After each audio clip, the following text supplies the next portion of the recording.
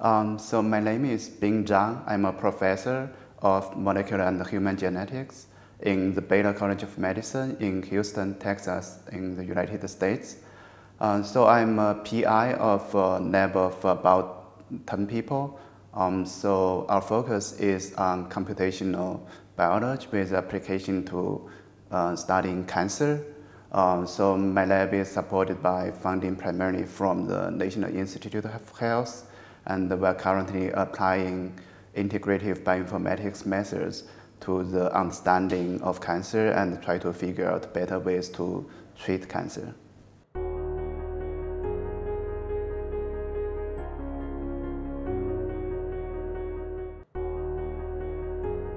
I think there are probably two aspects of this. First, I think people have to understand the need. So why we need to do the integration. I think there should be some demonstration project uh, to demonstrate that there is a value to integrate the data. And I think some of the government effort, for example, the CPTAC effort in the US is doing something like this to try to bring people together and uh, demonstrating the value of by integrating genomic and proteomic data, for example, we can learn something that we won't be able to learn by looking at the data separately. I think then we can get some papers published, for example, and then people will appreciate the value of this. And the second part is, I mean, even if you want to integrate, you need to have the ability to integrate the data, right? I think currently this is through integration, uh, interaction between uh, scientists with different type, um, types of expertise. But I think in the future, we also need to think about education. Uh, our next generation scientists should be able to uh, at least understand both genomic data, proteomics data, etc., and also can understand the computational part and the experimental part so that they have a holistic view of the biology and then they can do much better job than what we can do today.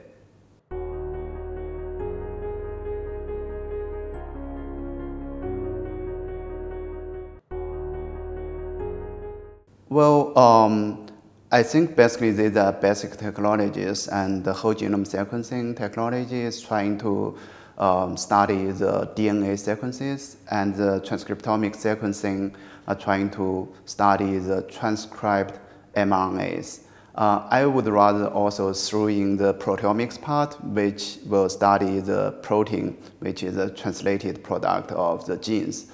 Um, people sometimes ask me, I mean, which one is a better technology, which one do you like? Uh, to me, I think a better way is to integrate all these technologies.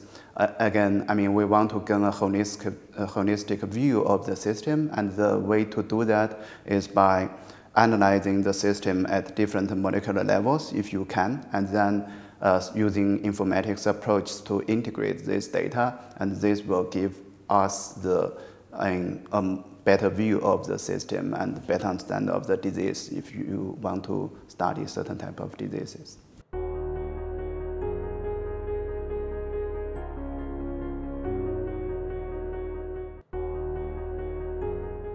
I think uh, the cis EQTLs and trans EQTLs, they are not exclusive.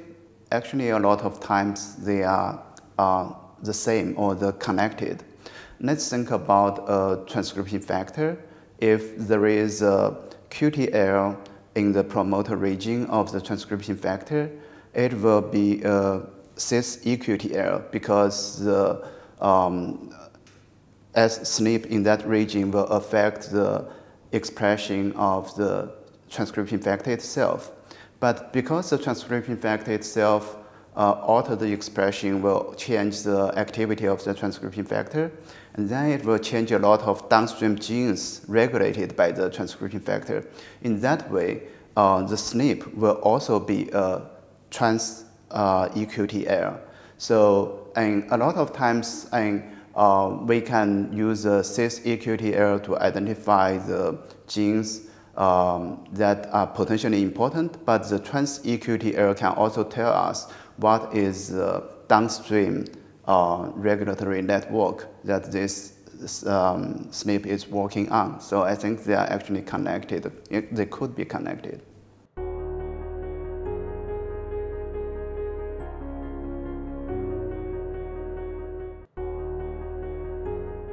So I think that is actually a very fun part of our research.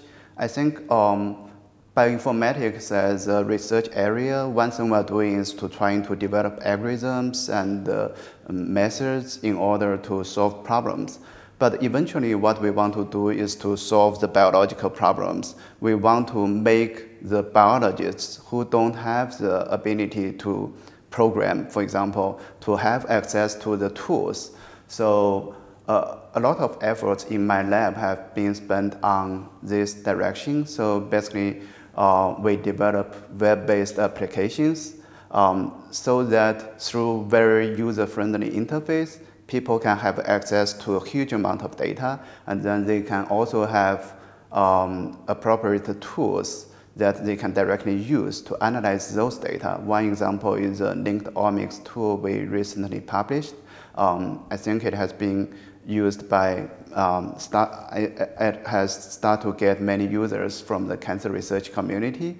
Um, I yeah, I think it's really interesting um, a part of the research to make your tools or methods directly available to biologists.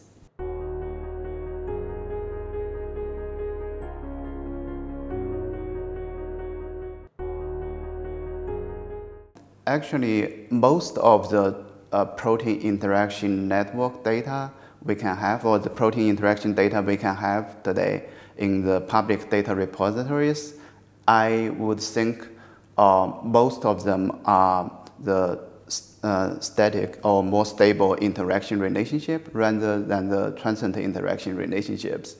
Um, it's, I would hope that um, more experiments can be done in this area that can help us to identify the transient interactions and then condition specific interactions. And then we can better annotate the network and the uh, interactions within the network.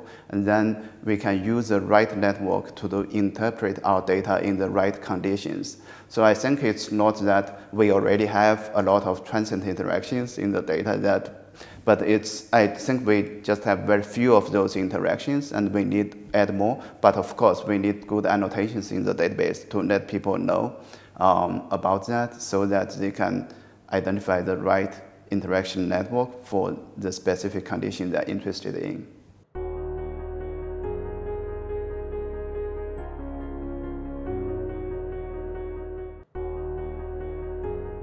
I think the primary protein sequence can provide a lot of information that you can use to predict protein-protein interaction.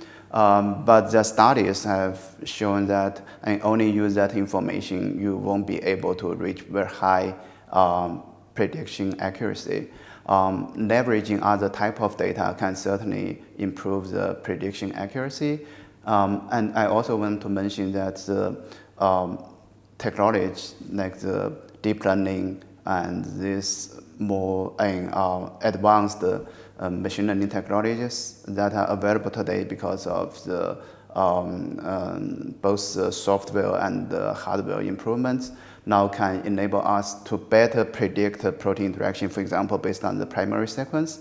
But still, I mean, if we can incorporate more other types of data, you, that can certainly improve your uh, prediction accuracy. And especially when you want to predict the condition-specific interaction. Uh, I don't think the primary sequence can give you a lot of information on that. And uh, for that part specifically, you want to incorporate more information.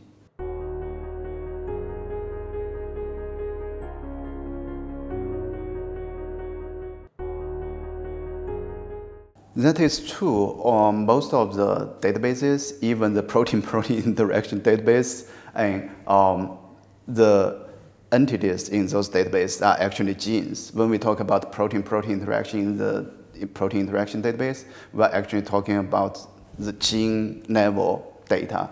Um, and uh, uh, I think the challenge is not the database itself is gene-centric. I think it's we just don't have enough information to distinguish the uh, function and the interaction and the characteristic of the individual protein isoforms. Uh, again, I think in the future, I hope the protein, uh, the databases can be protein isoform centric because different isoform can actually have very different functions. Um, but uh, in order to achieve that, and uh, for example, the uh, proteomics experiments, um, the sequence coverage has to be improved a lot because currently, um, if you do a, a mass spec-based experiment, the sequence coverage is actually pretty low. It's less than 10% could be. Uh, and with that, you won't be able to very well distinguish the different protein isoforms. That's why the interpretation is usually done at, at the gene level. Um, it's not difficult to convert the protein level data to gene level you, because it's aggregated to the gene level, right? But I think it's more difficult to get the detailed data at the protein isoform level and build database centered around the protein isoforms rather than genes.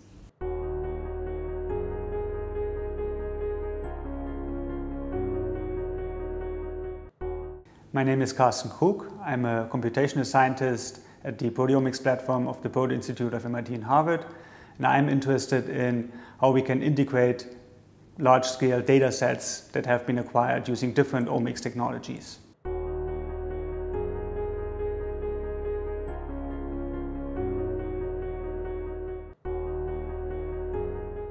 In a gene-centric analysis, we study the gene or the gene product itself, so meaning we want to compare its expression between two phenotypes. Let's say in the context of cancer, we want to know whether a gene is specifically upregulated in a cancer compared to a normal tissue, which uh, would probably or potentially introduce a new target for, for, this, for this specific cancer. If we study the entirety of all genes or gene products in a cell, we have to perform a statistical test which tells us which genes or proteins are statistically significant between human and normal samples. And we would end up with long lists of differentially expressed genes which are sometimes very difficult to interpret. So in order to better understand what is happening in, in for example, tumors on a molecular level, we would usually or typically map these proteins or genes to pathways in order to better understand what is dysregulated in these tumors on a molecular level. Um, there's many different or several different databases that facilitate this kind of analysis. So there's the Reactome database, there's the KEGG database, or also the uh, database of molecular signatures, or MSigDB. So um, if you ask me whether gene-centric analysis or pathway-centric uh, analysis uh, is better, um, so I personally think that both types of analysis are equally important.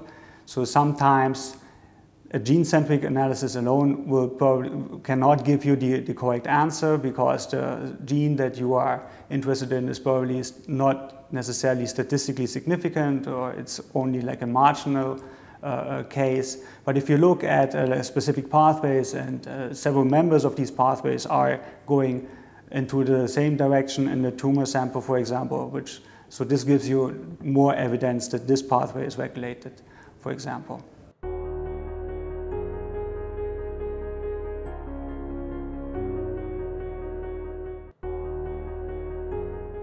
So we know that many, many mutations, millions of mutations have been associated to uh, certain diseases and phenotypes but only for a very few we know actually the uh, molecular consequences that are being introduced by these mutations. So if a mutation affects a coding region of a gene, uh, so it might be a non-synonymous, meaning it can introduce an amino acid change in the corresponding protein sequence. And if we think about post-translational modifications like phosphorylation of serine, threonine, and tyrosines, this can actually affect these, uh, uh, uh, these phosphorylation sites. So serines, threonines, and tyrosines are actually very abundant in the human proteome, and therefore it's very likely that these amino acids are affected by mutations. So very, or probably the simplest case of uh, uh, like the impact of a mutation of on phosphorylation sites is that a phosphorylation site now gets mutated into a, a different amino acid, so meaning it cannot be phosphorylated anymore. And we, so it's very crucial to understand what kind of downstream effects these kind of, kinds of, uh, of events have. Like in case a mutation affects a modified amino acid, like a serine that is usually phosphorylated, now the serine is being mutated into a different uh, amino acid, it cannot uh, be phosphorylated anymore. So it would, it's very crucial to understand what kind of downstream effects are introduced by these kinds of mutations.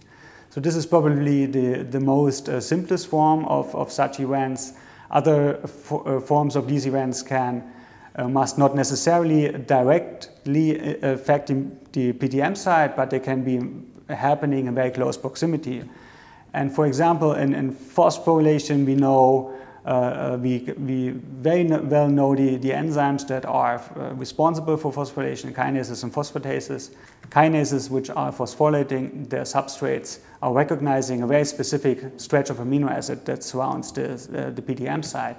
So this is one of many mechanisms how a kinase uh, uh, recognizes its substrates. So a kinase usually has uh, between uh, a couple and a hundred substrate and so these amino acid stretches around these PTM sites is one mechanism how a kinase recognizes its substrate. So if a mutation now changes the amino acid composition of these uh, flanking sequences, as we call them, around these PTM site, has direct effect on uh, the kinase substrate binding specificity. So it might happen that a phosphosite that has been uh, more, uh, phosphorylated by a specific kinase, like AKT1 for example, uh, can now not be phosphorylated anymore by this particular kinase because it cannot recognize its substrate site anymore.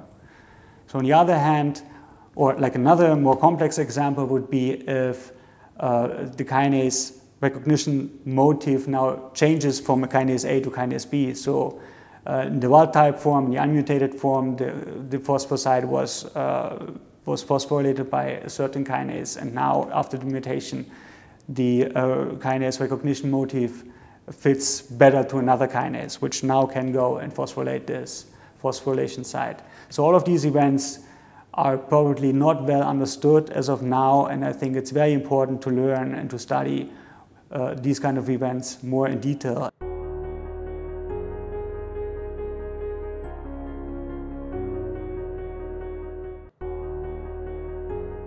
I think phosphorylation uh, by far is the best and most studied uh, post-translation modification to date because we have the methods uh, uh to study these uh, phosphorylation on a large scale.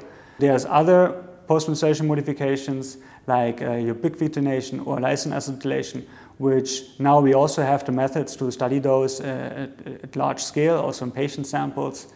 Of course, we can very easily study whether mutation affects directly these PTM sites, like whether these lysines are being replaced by another amino acid, and now uh, these uh, lysines cannot be ubiquitinated or acetylated anymore. But I think we still have very limited knowledge about specific binding motifs uh, for a lot of these acetyltransferases, uh, for example. So there are specific examples that uh, where we know the sequence motif when we talk about uh, histone modifications, for example but our knowledge is still very limited in this regard.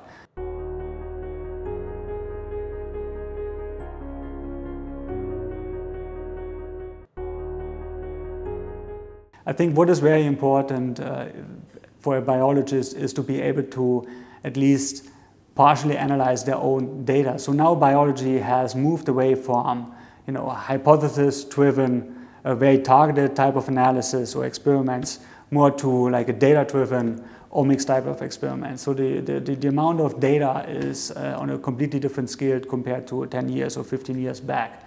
So even as a wet lab uh, biologist, it's very important to be able to analyze your own data. So you need to have some computational skills. I think an easy way, I think, okay, I think an easy way to get started with any computational analysis or data science driven analysis are scripting languages like R or Python, for example.